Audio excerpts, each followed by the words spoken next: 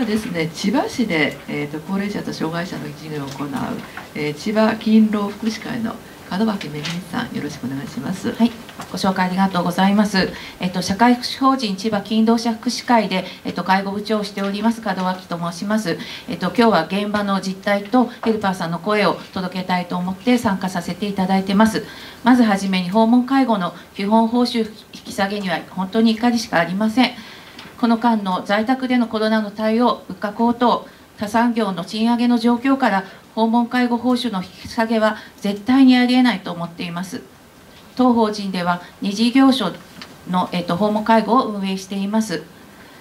二次業種合わせてヘルパーさんは総勢80人いますけれども、えっと、どちらの事業所も平均年齢は60歳近く、え最高年齢は80歳です。二次業種合わせても20代のヘルパーさんはゼロ。30代は1人です。求人を出しても紹介事業所を頼っても、え高齢者住宅への、えー、訪問するヘルパーさんはいたとしても地域に訪問するヘルパーさんはヘルパーを希望する人はいないと言われており、えー、1人も確保することができていません。そして今回の基本報酬引き下げにヘルパーさんが動揺しています。訪問介護は評価されていないのか報酬が下がっては自分たちの賃上げをされないのではないかと自分の生活に不安を持っています。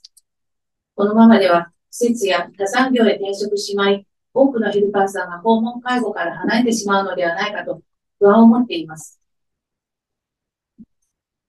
えっと、今回の報酬の引き下げの理由が、えっと、利益率が7.7%と高いということですが、一方で2023年の、えー、訪問介護事業所の倒産件数が過去最多の60件となっています。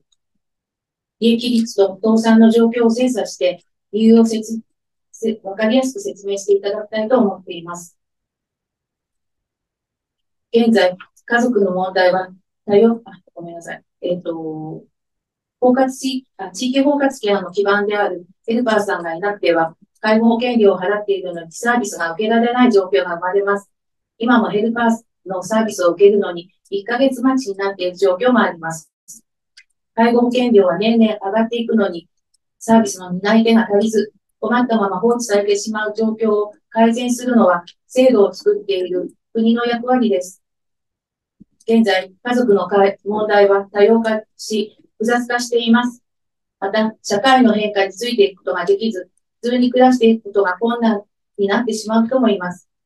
そこにヘルパーさんが介入することで問題が明らかになり、それぞれの機関と連携し、解決につながっている事例もたくさんあります。ヘルパーさんは利用者さんへの対応だけではなく、家族をも含めて支援をしています。そのような社会的役割を担っているヘルパーさんは地域の宝です。一人でも多くヘルパーを目指す、目指す人を増やさなければ地域包括ケアは成り立ちません。ヘルパーの専門性や社会的役割、一人で訪問することの難しさを考えれば、全産業平均以上の賃金でなければ、なり手は増えません。ヘルパー不足改善のため、大幅な処遇改善を求めるとともに、今回の基本報酬引き下げの撤回と、新たな予算措置を求めていきたいと思います。以上です。はい。ありがとうございました。え伊藤みどりさん、次ですね。朝のヘルパーの仕事を終えてから大変ついてました。あの、ホームヘルパーか賠償、えー、訴訟もですね、原告でもあるということで、明日、高裁で判決が出ます。えー、そちらの方の取材もよろしくお願いいたします。はい、皆さん、こんにちは。あの、もう本当にですね、もうすでに取られてるんですよ、この介護は。えー、2024年の1月1日、あの、三鷹市の特定処遇改善加算、まあ、以前のね、今度じゃなくて、それの1を取れた事業所は16、2を取れたのは15、46訪問事業所のうち、1が16、2が15、取れてないのが15なんです。15は潰れますよ、このままいったら。これ今、3玉全域の自治体の議員さんに頼んで、どれだけ取れてるのか、ただ賃上げしてるって、まあ、そこに書いてますけども、取れない事業所が15いるんです。豊かでも46のうち。これを知ってほしいと思います。で、裁判では、国はずっと経営実態調査が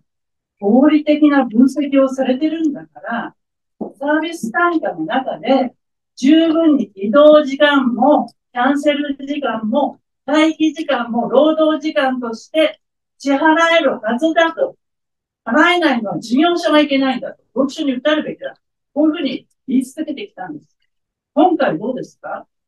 補充が減算だったら、じゃあその移動時間分、実際に 移動している私たちに加算して当然ですよね。理屈が合わないじゃないですか。それをまず言いたいです。で今日資料いっぱい作ってきたんですけど、皆さんいっぱい喋ってくれたので、2ページと2、3っていうところで見てください。これは、さっき上野さんも言い。ましたけど、1.52倍の最低賃金に合わせると、ほとんど上がらなかった身体介護は1時間だったら887単位に行かなきゃおかしいんですよ。ってこと。を、このグラフは以上にしてください。で、次に4ページのグラフなんですけど、上が、訪問あの、この、今回の改定に対して、経営実態調査から調べたっていうのがですね、なんと、訪問件数で調べてるんですよ、収支サイトを。そしたら2000件回ってるところと、一月200件しか回れない小さいところでは、たくさん回ってるところは利益が決まってるじゃないですか。その差差で7.8とか変な数字出してるわけですね。その下、私の、まあ、6件回ってる。私7件とか言ってるんですけど、今は70歳なので、もう7件、10件は無理です。7件行ってる実態です。ある大手企業、まあ、特定職改善型代行を取ってるところ、でもそこでも、どんどん介護福祉士、ベテランほど辞めてます。えっ、ー、と、もう、この介護法、あの、保険ができた当時以前から働いてる人みんな辞めてきた。若い人も長続きしません。5年も持ちません。これ見てください。私6件だけ30分、30分、30分、1時間、30分、30分。移動時間、9分、14分。もっとかかってますよ。今日、ここに来るのの往復1時間かかってるんですから。でも、Google マップで測って、払ってるそうです。まだ払ってるだけマシなんですよ。で、その次の、あの、これ、三鷹市のケアモデルを作りたい会が作って出たんですけど、今の図をもっとわかりやすく言うと、朝身体、移動身体、移動体、移動身体、移動待機、身体、移動、非不食待機、身体、生活ってこれ、グラフにして、これですね、1日サービス単価で計算すると5400、私の会社ね、942円。でも、拘束時間で計算したら、920円ですよ。で、この待機時間は家に帰ったり自由に過ごせるじゃないかと。こういうふうに厚生労働省の通達はそれ抜け道なんです。完全に出来高払いに介護保険制度の設立の時から、出来高払いなんていうのは労働法で言ってもありえないんです。委託労働と一緒なんですよ。で、それで介護報酬引き下げてですよ。人件費も全部その中で勘案、勘案って言葉ってすごい便利ですよね。勘案して支払えるって言い続けて、えこれまで来ちゃったっていうのが、あの、実態です。このですね、私が一つだけ30分サービスで何をやってるかっていう。自転車で15分ぐらいかかっていきます。えっと、ベッドで寝たきりです。排泄解除やります。ベッド汚れてる時ももう全部着替えなきゃいけない。で、歩行器一応こう、捕まる、こう自分でやるのがあるんですけど、一人では歩行器ごと倒れてしまいます。後ろから解除します。娘さんが朝働いてる人だったので、えー、冷蔵庫にしまっている食事をチンして温めて出します。で、スプーンに乗せて食べるんですけど、その後またベッドに戻して寝かせなきゃいけないので、もう、スプーンのおかずどんどん乗せなきゃ間に合わないですよね。そしたらもう伊藤さん、せかせないで。もっとゆっくり食べさせて何度も言われました。で、結局、サービス時間、サービス残業になっちゃう。だから他のヘルパーもみんなサービス残業やってた。で、私はもう、その人は1日4回訪問してたんです。30分で4回訪問してたんですけど、あまりにもそうって、間に転んでたり、ベッドからしょっちゅう落ちてたんですね。で、家族は監視カメラつけたりした。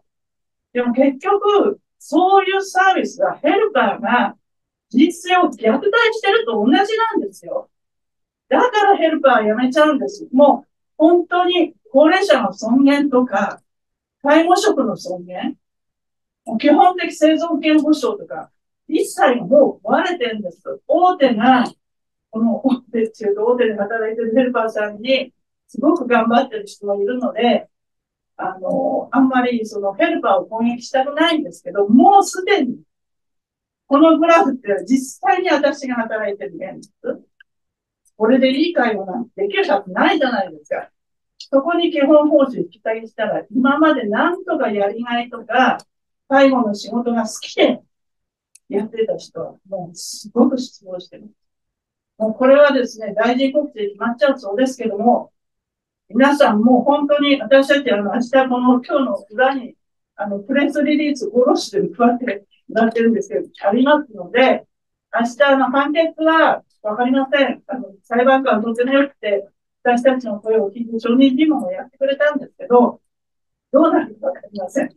でもその後、この引き下げに抗議活動もしますので、ぜひ、あの、マスコミの皆さんも取材してください。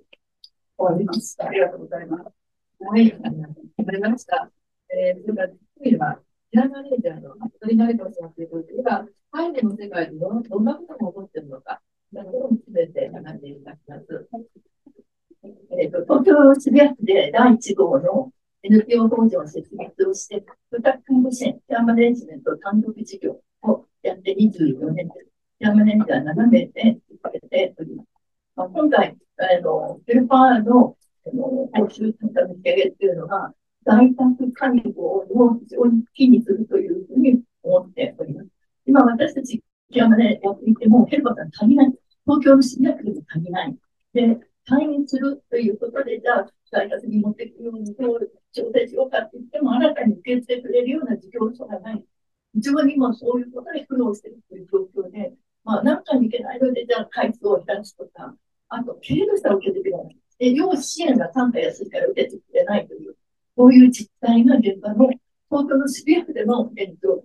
の状況です。今日私、あの、地方を少し調べまして、1枚の紙にしました。あの、私は東京でやってますけれども、全国の地方のヘルパーの現状についてということで調べましたので、これをちょっと見ていただけると、えまず、富山県に関して、富山市、これは認知症の人の会に関して、実態をしました。人でヘルパー足りない。で、実際は、介護を終えた家族の方がヘルパーになっている。でも、疲労が重なったり、腰を痛めたりということで、実際、それをやってくれる家族が終わってやってくれるレバーをやることもできないという実態であるというのが、あの、富山の状況です。山梨県の北杜市、ここにもテリングしました。ヘルパー足りない。で、ヘルパーはもう増えるばっかりで、キャンセルする人は一人もいない。特にこういう地域だと非常に時間かかるんですね。すごい遠くです。近くの、まあ、東京のようにね、自転車で行けるような状況ではありません。非常に時間かかるけど、その方が本州には反映されてないんですね。っていうと、やっぱりここで在宅続けることは非常に困難になるということです。広島市の南区、まあ、広島であっても、クローズするヘルパー事業所が出てきてるということです。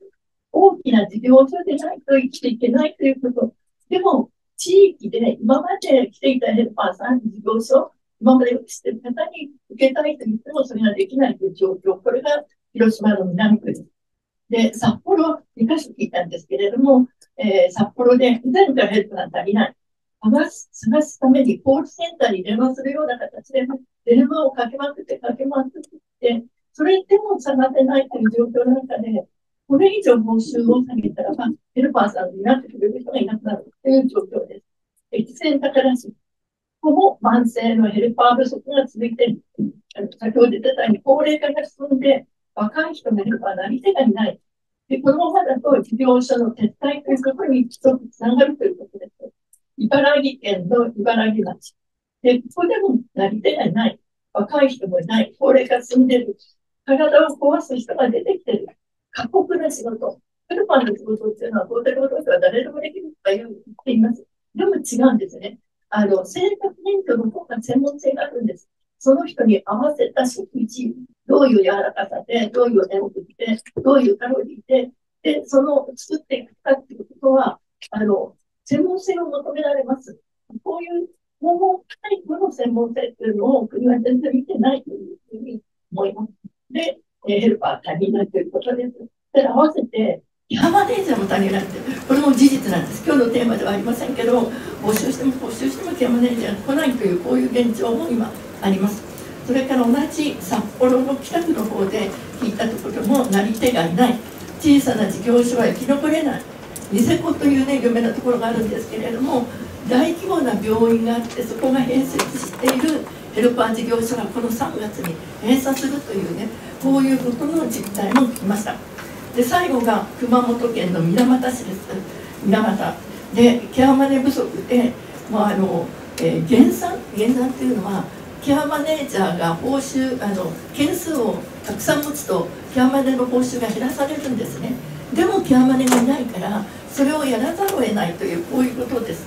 でヘルパーさんの養成期間が水俣ではなくなったそうです、うん、あのヘルパー研修受けないとヘルパーできないんですけれども養成期間そのものが水俣では廃止をされた。そして新しいヘルパーさん出てこないわけですよね。そして高齢化が続いているということで、まあ、今施設では外国人を受け入れてる。今外国人は施設しか入れないんですけれどもこういう実態で在宅で継続する生活を継続する人が非常に困難だというこういうことを皆方からも聞いております、まあ、ぜひこういうね地方の実態ということを知っていただきながらあのこの報酬改定が在宅をもう、えー、撤退事業を増やして在宅生活を、えー、継続することが難しくなるというこういうふうにつながるということをぜひあの皆さん知っていただきたいし訴えていただきたいと思います。ありがとうございました。はい、服部さんありがとうございました。じゃああの最後の発言になるんですけれども、えー、介護家族の立場からということで鈴木森夫さん、えー、認知症の人と家族の会の前代表です。今日はですね京都から来てくださいました。よろしくお願いします、はい、えー、ご紹介いただきましたあの認知症の人と家族の会の鈴木です。えー、っと今日はあの、えー、介護給付費分科会の委員でもあるあの現あの代表である鎌田松代さんから、えー、声明という形であの文章を預かってきましたんでちょっとそれをあの、えー、読んで発言に変えたいと思います、えー、認知症の人や家族の願いに逆行する訪問介護の基本報酬引き下げは介護のある暮らしを崩壊させる、えー、訪問介護の基本報酬を引き下げる改定には断固抗議します。えー、認知症の人だけでなく在宅介護サービスを受けている人々は、えー、自宅での暮らしを希望しています。その介護のある暮らし生活を支える要は訪問介護であり訪問介護を利用できてこそ軽度の認知症の人も一人暮らしを継続す継続できるのです。また働く介護者ワーキングケアラーにとっては介護離職を防ぐためにこのサービス利用この訪問介護のサービス利用が仕事と介護の両立の上で必要不可欠です。介護給付分科会の議論の場において、まあ、委員として介護人材不足が顕著な訪問介護の現状を訴え続け審議の過程での答弁では国も理解把握しているとの担当部局からの回答を得ておりままさかこのような結果になったことに大変驚きでした、え当該サービスの基本報酬引き下げの理由は容易に納得できるものではなく利用者としては報酬の引き上げによる負担増にはこれまで声高に反対することなく介護職員の労働環境が改善されることを願ってきたわけですけどもまさか下げるとはということです。え訪問介護事業所の求人倍率は他サービスを大きく上回り危機的状況が続いています。訪問介護事業所の団体のヒアリングにおける要望は基本報酬の引き上げでした。処遇改善加算は取得が難しく特に小規模事業所では事務手続きの負担や困難さがあります。今後加算取得についての支援や煩雑な事務の簡素化などに取り組むとされていますが現場の実情との温度差が懸念されます。国は介護事業所を大規模化連携法人化と基礎体力のある法人事業所にしようとしています。小規模事業所を少なくする方向がゆえの報酬改定ではないのかと思えてなりません、え、小規模事業所の良いところは管理者などとの距離が近くコミュニケーションが取りやすいことなどです。小規模もあり大規模もありと必要に応じた選択ができる事業者数や多様な運営形態の事業所があることを望みます。給付費分科会では委員の2割強が明確な意義や同様の懸念をが示された今回の改定内容です。自宅での介護のある暮らしの要である訪問介護事業所の存続と希望を持って働ける訪問介護事業であるために基本報酬引き下げには断固反対します以上ですはい、どうもありがとうございました。で、ここからはですね、いただいたメッセージ3点ありますので、あの読み読み上げさせていただきます。京都ヘルパー連絡会、えー、桜庭陽子さんからですね、メッセージがらってます。で、これはあの、えっ、ー、と、え、サポート、あ、ごめんなさい、ケアサポート N のですね、西本由美子さん、読み上げてよろしくお願いします。えっと、私も埼玉県の単独型の訪問介護事業所で管理者をしております。えっと、ヘルパーは50名ほどいまして、えっと、そのうちの4分の1が70代のヘルパーになります。でここ数ヶ月の間に70名のあ70代のヘルパー2名が自転車移動中のじあの自転車移動で転倒して骨折であの長期休暇を余儀なくされています。であの60代後半のヘルパーも自身の病気で退職して利用者になって戻ってくるというこういうことが起こっていますそのヘルパーの一人でありますあのスタッフがサービスき高齢者向け住宅と掛け持ちをしていましてどこが違いますか？っていう質問をしたところ左高中のいいところは移動がない快適バリアフリー何かあった時にはすぐ事務所が下にあるので安心。食堂から部屋に移動して服薬させたらそれで1件終わり。これはもうやめられない。でも自立だったり要介護12の方が多くを占めている。ここはついの住みかではないって話していました。私たちのような在宅介護を担っている事業所は自宅での看取りが可能でです。今回のあの改定訪問介護危機というよりもこれは在宅介護の危機だと思っています。で同じ思いを持ったこの京都ヘルパー連絡会の桜庭さんの言葉を伝えさせていただきます。私たちヘルパーは訪問ヘルパーは不要なのか。1月22日月曜日2024年4月以降の訪問介護と夜間対応型訪問介護の介護報酬引き下げの報道を見てあぜん呆然がぜんまさか嘘でしょ？国には裏切られたと感じました。ここの介護サービスではサービスは医療ながらも介護報酬はプラス改定なぜ訪問介護と夜間対応型訪問介護だけ基本報酬を下げなければならないのでしょうか。ホームヘルパーだけいじめられているような気持ちになりました。コロナ禍では改めてケア労働はなくてはならない大切な存在であると少しは国も理解してくれるのではと期待しましたがまさかの引き下げ。もはや国はホームヘルパー不要と言っているようなものです。本当に悔しいの一言につきます。訪問介護の人手不足はますます深刻。高齢ヘルパーが在宅介護を支えていますが高齢ヘルパーも年齢と体力の限界が近づいてきているのが実情です。真夏の炎天下びっしょり汗をかきながら利用者宅に訪問。冬は寒さに耐えながら訪問に回ります。雨が降ろうが雪が降ろうがコロナやインフルエンザが流行してもホームヘルパーは感染症に恐れながらも訪問に回っています。改めて国に問いたいのは地域包括ケアって何何ですか？集合住宅に集められて住んでいる高齢者専用住宅に通うヘルパーを国が推奨したいホームヘルパーの姿なのでしょうか？外付けヘルパーの介護報酬と純粋に訪問介護として利用者宅を1件ずつ回るホームヘルパーとの介護報酬の区別を分けるべきです。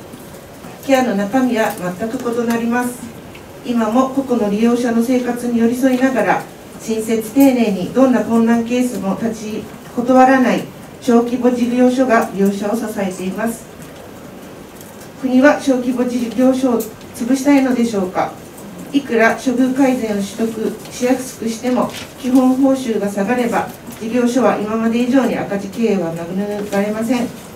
赤字を膨らませてまで事業を続けたい経営者がいますか？同時に赤字のしわ寄せはホームヘルパーの賃金に直結します。ますます人手不足に拍車がかかれば今以上にケアを必要としている方のホームヘルパーの利用が困難となれば重度化に拍車がかかります。昨年11月に公表された経営実態調査の中身について訪問介護の利益率が高かったことの結果ですが調査方法に公平性中立性が担保されていたのかは疑問です。国は利用者さんの日常生活を支えるホームヘルパーの雇用を安定させ働く権利を守ってください。そのためには介護報酬をプラス改定に基本報酬を引き上げてください。京都ヘルパー連絡会は2024年訪問介護と夜間対応型訪問介護の基本報酬マイナス改定案に断固反対します。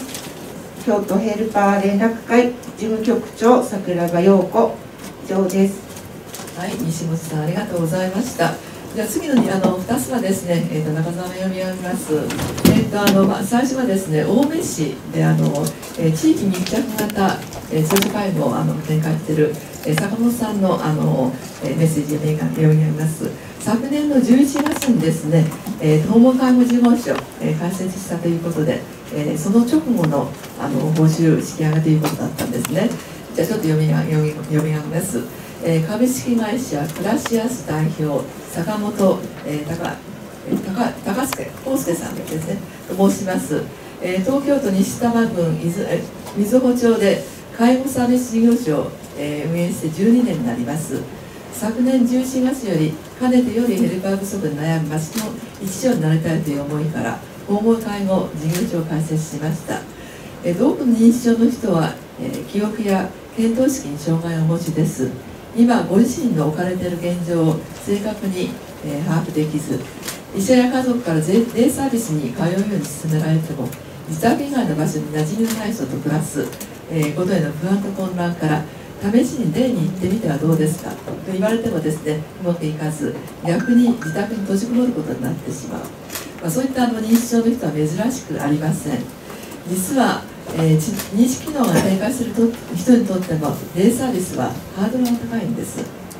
えー、認知症になったデイサービスの一本やりでは、えー、昨今のビジネスケビジネスケアラーヤングケアラー問題の解決にはならないでしょう。認知症の人が介護難民となりその生活を支えるために仕事と介護の両立に苦しんだり余裕のなさから虐待などの問題も増えていく可能性が高いと考えます。その点住み慣れた自宅で顔なじみのヘルパーと1対1の関係を作ることができる訪問介護は不安と混乱に苦しみ、えー、認知症の人にとって受けやすいサービスなんです。自宅での安心を担保できれば家族はより、え仕事にリソースを、え下げるようになるはずです。今回その役割を担えるはずの特に人口が少ない地域の訪問介護の息の根を止めるような報酬改定は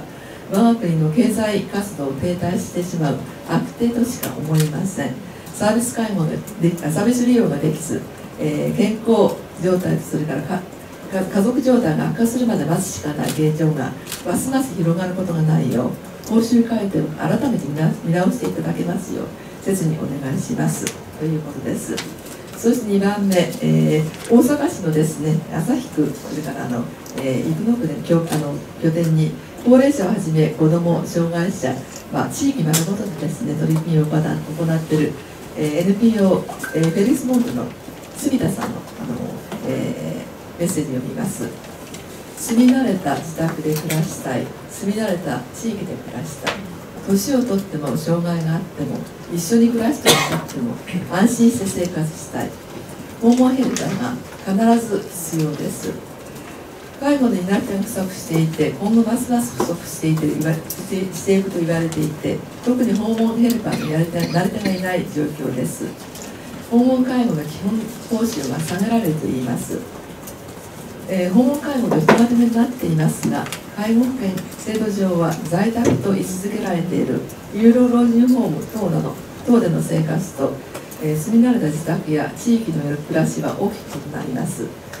また訪問介護事業所の運営の仕方も大きくなります。そのことははっきり分けて考える必要があります。ますます人人手不足の中で訪問介護事業所は何をしているか。人が集まらない中での人材の募集。高齢化し新たに優秀な人が集まりない中での人材の育成研修。人手不足の中での困難極まるシフト調整、えー、老後訪問。限られた単位内の中での利用者の生活を支えニーズに応えるためのアセスメントやモニタリング。ケアマネージャーや家族、えー、家族あの関係者とのやり取り。計画書の作成。その他、えー、事務。まだまだあります。テレパン悩みや相談を聞くことも大切です。利用者からの苦情やトラブルにすぐ対応しなければなりません。時には自己対応もあります。これらは介護報酬からヘレパーの人件を人件費を支払った、えーまあ、ソリですね。から、えー、家賃、えー、水道光熱費それから通信費事務用事務用品えー、備品消防費燃料費車両費保険料等の、えー、経費に引き引かれあの支払った。その残りのわずかな人件費で賄っています。ますます物価も上がる中基本報酬を増やさなければ管理者や、えー、サービス提供、えー、責任者の給料を捻出するしか方法はありません。明らかに基本報酬の、えー、増加が必要です。ということです。でこれがあの一応、えー、今回のあの発言終わりましたので、えー、会場からのですね質疑応答させていただきたいと思います。どなたかあの、えー、質疑応答ある方、お名前とですね、えー、をあのおっしゃっていただきながらお願いしたいと思います。いかがでしょうか？はい、どうぞ。朝日新聞の清川と申します。今日はありがとうございます。あの先ほどちょっとお話も出ましたが、今回の引き下げに関してあのこれからこの仕事を志す方とかあとやっぱ今働いてる方へのこうなんていうかすごい否定的なメッセージになるっていうのを私もすごく感じてるんですけどもその辺りについてあのちょっともうあのどなたかお考えがあればあのもう少し詳しくお伺いできたらと思います。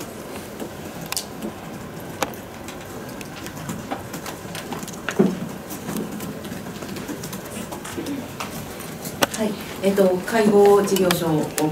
経営してますというかあの門脇です、えっと、うちの法人ではあの施設系のあの事業所とあと訪問介護とあるんですがやはりあの施設系のあの事業所には応募があります。夜勤をやればあのそれなりに人並みの生活ができるというところでの応募なんですね。ただ訪問介護になると夜勤手当がないということでやはりあの給料の面から応募がないっていうところとあとがあと養成校の訪問とか行かせていただいてるんですがあの養成校のあの介護福祉を目指す学生さんも減っているというようなところで本当に確保若手の確保が本当に困難なんですね。で、えーと、養成校もあの閉鎖しているところも多いですしあと高校周りもさせていただいてるんですが高校生も将来あの介護に就きたいっていうあのお子様がいらっしゃとしいらっしゃったとしても先生とかあの保護者の方がやはりあの生活が成り立たないからそこはやめなさいということで、えーとまあ、ななることをこうやめさせてしまうということがあるんですね。それもやっぱりすごく、まあ、実実際的に給料が低いこともあるんですがやりがいもある部分をどうしても発信しきれずにあのそのマイナスイメージがすごくこう広がっているなっていうところに加えて今回のあの引き下げのニュースっていうのは今やっている職員にもすごく影響が出ているというところでやはりこれから自分の給料が上がらないであれば先ほども伝えたように施設経過もしくはあの他のあの仕事に就き直そうかなというふうに考えている職員もあのこれからどんどん増えていくと思います。はい、お答えになっているでしょうか？あの一言補足させていただきますが、私どものところの、えー、社会福祉の学科を卒業して、社会福祉、社会福祉を持って入ってきて、そして、えーと、と一昨年はケアマネも取った。でいろんな事業所をあのであの一生懸命要請をしている非常に優秀な、まあ、これからのうちの幹部候補生だと思っている職員に今回のことをちょっと聞いてみました否定されたような気持ちになって続けていく気がなくなりますっていうふうに言われました。私たちは一生懸命彼女を大事に育ててきてでとてもいいあの介護職として育ってきた、まあ、感想ですからそうするとも思えないですけれども私は彼女からその言葉を聞いたことがとてもあの痛かったです。日本中でここまでモチベーションを持ってきた人たちの気持ちを萎えさせたのが今回の報酬の引き下げだというふうに思いま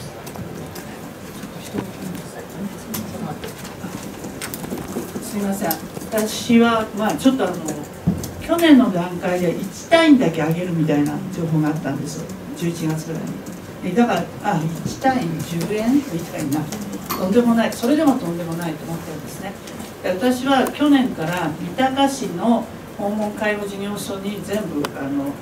えー、声をかけまして三鷹市の来期の9期の、えー、高齢者事業計画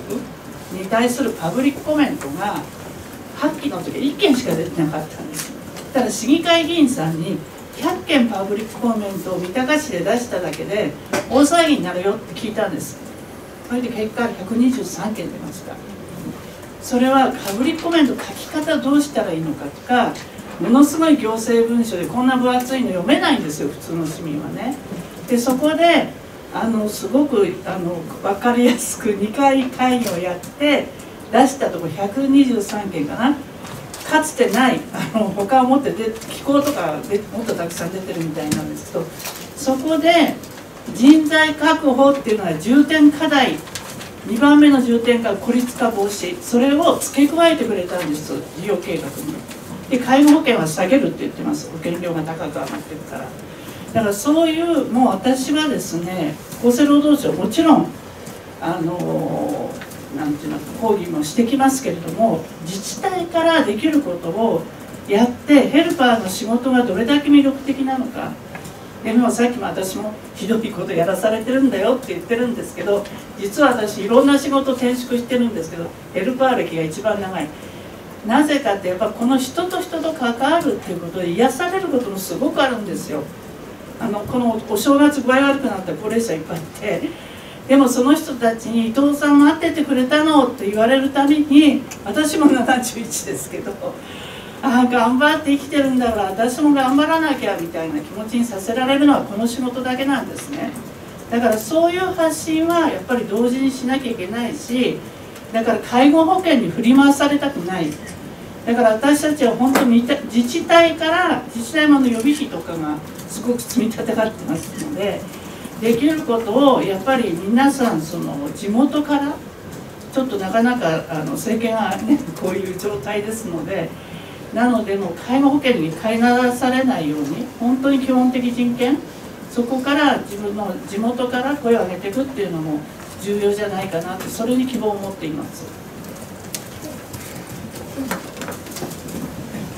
はい、今の私部の方の、えー、ご質問に関しては今回は緊急抗議ってなってるので、まあ、あの反対とこれをやめろっていう趣旨になってると思うんですよただ今お話があったように地域の中からも含めてあの在宅で生活をすることの喜びまた本人がサービスを選択することの喜びそういうことが継続できるようなこういう介護保険にしようというねそういう趣旨だっていうことを逆にはもうちょっとこの辺も、えー、追加した方が良かったのかなということを今聞いて思いました。えーと、他の方いかがでしょうか？どうしよう。じゃああの男性の方はい。あの共同通信の内田と申します。今日はありがとうございます。緊急宣言の中に明示的なのはないんですけれども、お話伺ってますと、その実調、経営実態調査のそのそもそもあり方に問題があるというような認識なんだと思いますので、その研究あの実調のあり方自体をですね、見直してくれということが、このセミナーが防犯されているという理解でよろしいのかどうかということが一点。であと関連してちょっと細かいんですけども、あの小島さんがあの左工住などの併設型が27%あるっていうふうにおっしゃったんですけれども、それはちょっといただいた資料の中で、あの東海の産生諸君、同意したところ原産の1と2を合わせると大体9000ぐらいあって、であと、その裏側のグラフのそのこの間の請求事業者数が3万4000ぐらい、だから、その3万4000を分母にとって、分子にその同意したところ原産9000ぐらいをすると27%、そういう理解でよろしいでしょうか。はい、結構です。あの経営実態調査のあり方というよりも、ですから今のカテゴリーではこうなってしまうんですね。だからその要するに付属あの併設型の訪問介護事業所を訪問介護として存立させていくこと自体が結局在宅の本誌である訪問介護の足を引っ張った。というふうに言っていいのではないか。私たちはある意味、えー本物の訪問介護を運営していると胸を張っておりますけれど失礼ながらあれは他のカテゴリーにしていただきたい。そうすればはっきりしてくる。こんな馬鹿げたあことにはならないというふうに考えております。い。あどうぞ。シルバー新報の大本と申します。2点質問があるんですが、今の関連なんですが、えーあのまあ、サポージュ等の併設型と、あとまあそういう単独の訪問介護、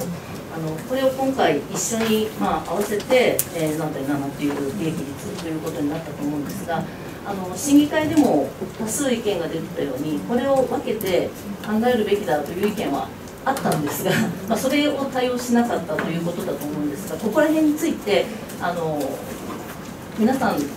労省にもあの質問したりということをされてるかと思うんですが、何か具体的に回答があったりしていたら教えてください。それが1点です。あとは、えー、とこの緊急声明の方にも書かれてるんですが、えー最初の方にあの試算の試算に触れてあるんですけれども、その今回、まあ、処遇改善加算を取った場合、取れば、まあ、あのプラマイでいけるというような説明がされてるんですけれども、あのこの最上位のうん処遇改善加算を取得してもマイナスになってしまいますという部分について、もう少し詳細にあの何か例示をしていただければありがたいです。以上です。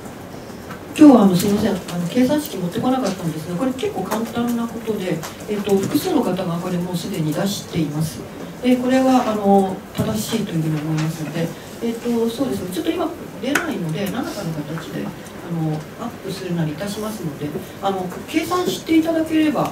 あのはっきりするんですね。あのできます。そんなに私たちじゃなきゃできないような計算ではなかったというふうに思ってます。どなたかされた方います？データ今持ってる方いない今ないないねはい、処遇改善処遇改善と全部取ってっていう話あのマイナスになるよっていう話ねプラスにはならないでもあの経営者が300万台の経営者っていっぱいいるんですよあの小さいとこは所長クラスっていうか経営者やってても年収が350万とかだからさっき15箇所あの取れてないっていうとこは取れてないんです440万っていうのもあたかも厚労省 43. 何パーセント400万400達成って書いてありますけど一人でもいたらっていう統計なんですよえ440万43%いいじゃないのって見えるようなデータ取ってますので厚生労働省の統計でそういうふうに全て作為的だから440万って私の会社だったら所長かなみたいなで所長は雇われあの事業所のあれだから経営者って言えないんだろうかっていう。だから本当にこの処遇改善加算自体が全体が低すぎるのに人参ぶら下げて取りなさい取りなさいって加算に合わせて現場が振り回されてる。加算減算って鎖骨中だって2012年ですよ。あの20分45分サービスが新設された時に鎖骨中作ったら加算しますって。それでみんな加算に引きずられて訪問事業者サービス鎖骨中も SS っていうのが増えたんですよ。今度減産でしょ？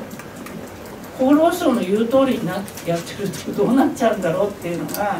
現場の人たちの気持ちだと思います。はい、どうもありがとう。他他の方いかがですか？すみません、はい、今お聞きしていたあの鎖骨中併設とそのえっと単独型の訪問介護これを切り分けて。えー、出すっていうことは可能だと思うんですけど、それ、はい。あの私もなんかシンポジウム、シンポジウムの席なんかで、あのまあ課長クラスの方がお見えになっている時にこの問題投げかけましたけどスルーされてますね。お答えないです。答えていただいたことはないです。逃げてるんじゃないかな。私たち、ごめんなさい。あごめんなさい。私たち11月に厚労省の課長クラスの人たちと全国のケア労働者の集まりであの実行委員会だったんですよ。交渉してこの問題追及したんです。で議員を通してその文書で回答しろって言ったんです。追及した時はその2%プラスになってるっていう150を分けたらマイナスでしょっていうことで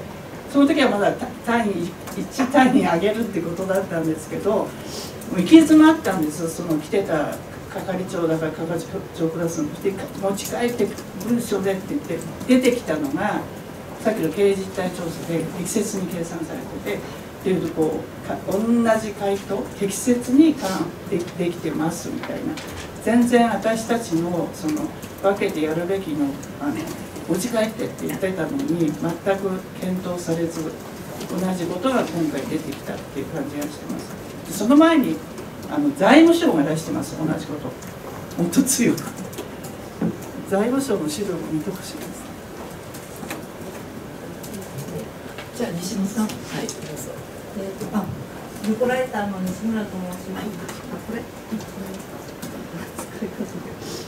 えっ、ー、とルコライターの西村ひとみと申します。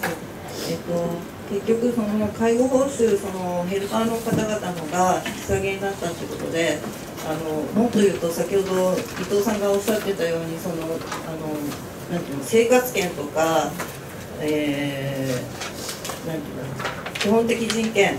の尊重がなされない状況要するにその居宅介護が選択できないようになるっていうことですよね。ヘルパーの人自体がその存在を、えー、否定されるってことももちろんあると思うんですけれど。で結局その、えー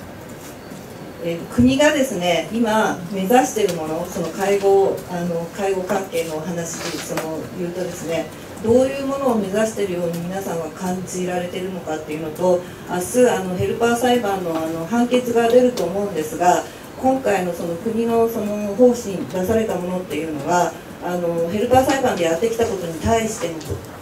言ってみれば回答みたいなふうにも感じていてでそれに対してあの原告である緑伊藤さんなんかはどういうふうに感じてらっしゃるのか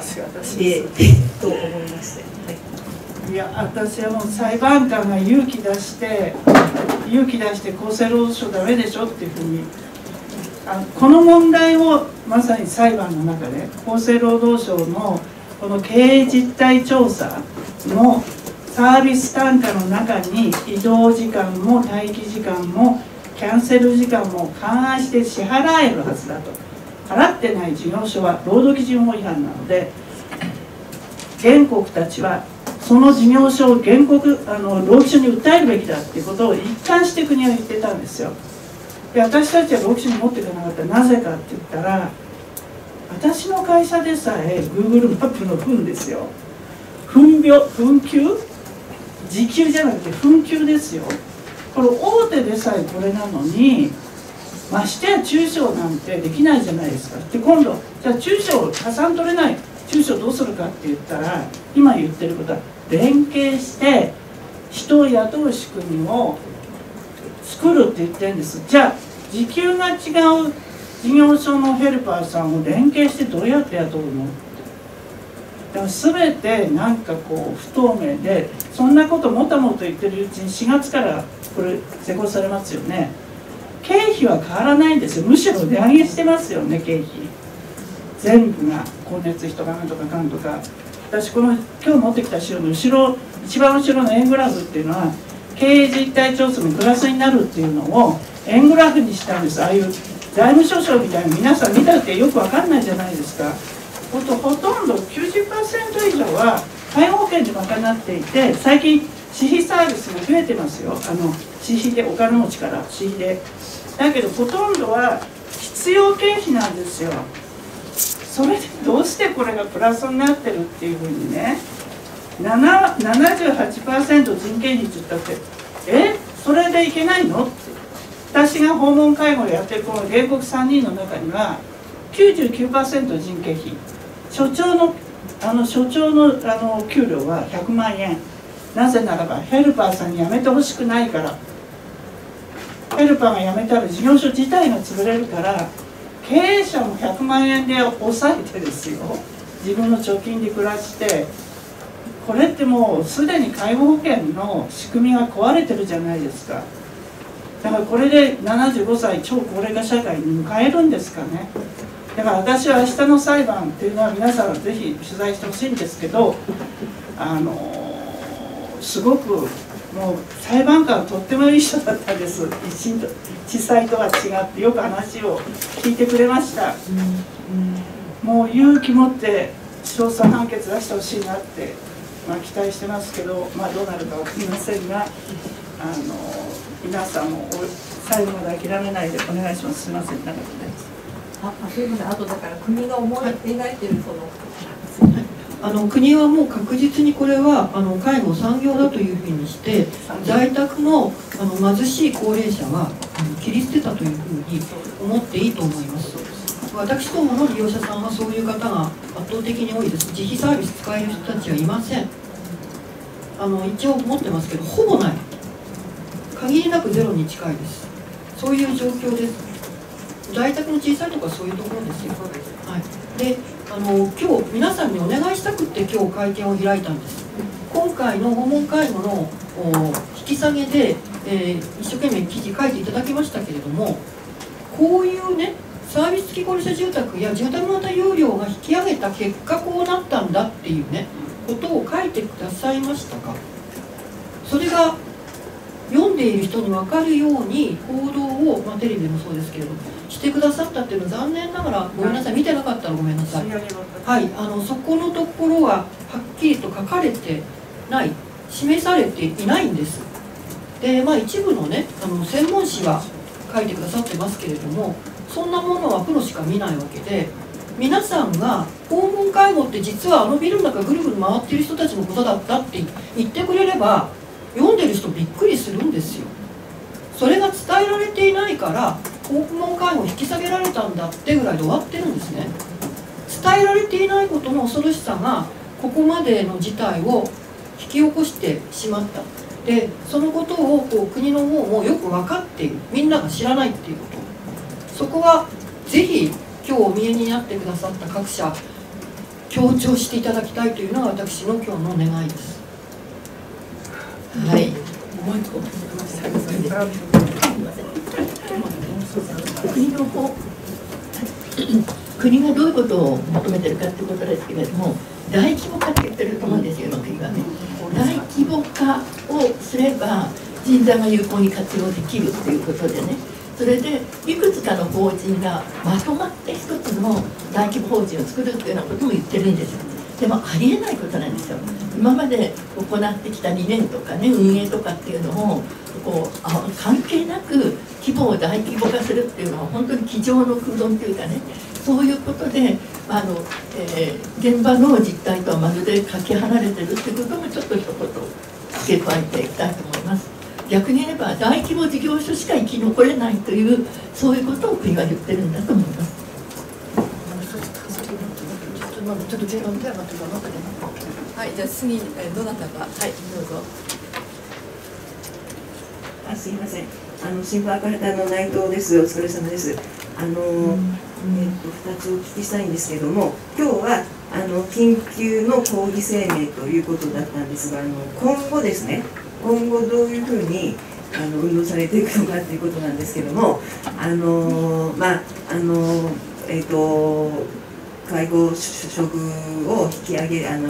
介護職員の処遇を引き上げるということについて、まあ、あの3年以内にですね改定されたこともありましたので、まあ、そういうあの再改定あのこれ 2%23% の引き下げですよね。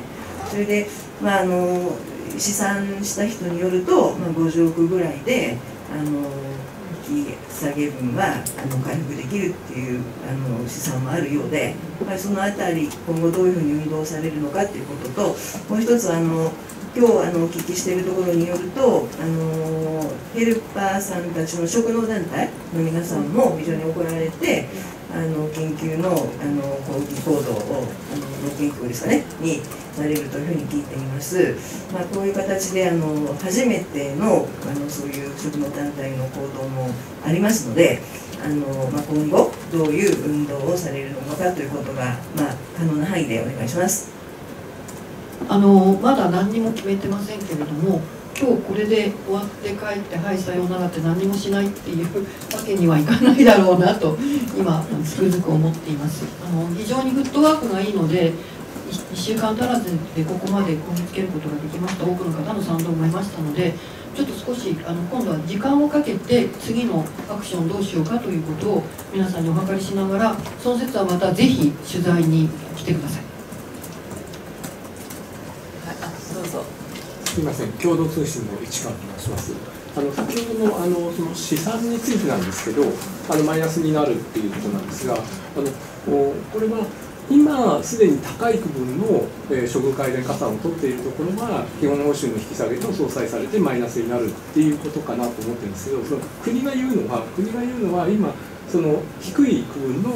処遇改善加算を取ってるところとか取っていないところに取ってもらって、えー、そしたらプラスになりますと。いう説明をしてるんですけども、それは違うっていうことでしょうか、その国の説明についてどう思われるか？それは多分国の説明は国の説明としては合ってると思います。がしかし、まあ、最上級を取ってもそういうことなんだよということでそれから取れるかといったら取れないんですよ。要するに小さい事業所はうちなんかでもまあそれなりの規模があるところですけれどもこれ出す時それから請求あのまず計画を出してそれから請求を出さなきゃならないんですが非常にいい加減ななんか指示しか出てないのでそこで必ずねギャップが出るんですね最初と最後で。計画とそれから実施で違いが出てきてしまってすいません違いが出ますって言ったらそれで出してくださいみたいな話なんです。こちらは何も間違ってないんですが出されている指示自体が非常にいい加減なんですね。で現場はとても苦労をしていてでだから出せないんですよ。体力のない事業所は出せない。だから今回作ったからってはい出してくださいじゃないんですよね。さっきもお話しされていたように100万しか給料もらっていない所長さんが自分がね訪問に行きレセプトもしあらゆることをしてこれもやれって言うんですかって無理でしょ。だから基本報酬だったらすぐにみんな上がるんです。加算でやるのはまやかしだというふうに私なんかもずっと言ってまいりました。大丈夫ですか？はい、他の方ちょっと時間もだんだん、えー、迫ってきましたのでいかがでしょうか？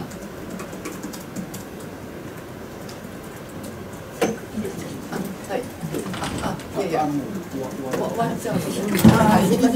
もう三十分はい。はい、すみません。はい、えっと実はあの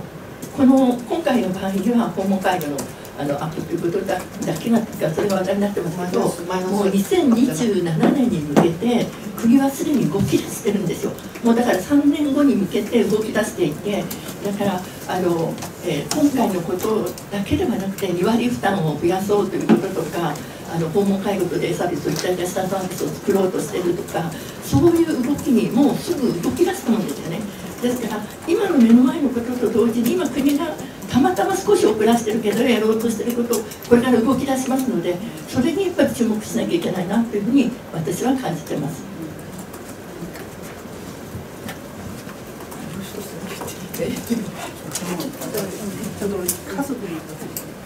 えー、とちょっともう時間が30分をしてますので、この辺であの、えー、あとは個人的にですね、いろんな取材をしていただくといいんじゃないかと思います。ということでですね、今日本当にあのありがとうございました。えー、長丁場になりましたけれども、よろしくお願いいたします。どうもありがとうございました。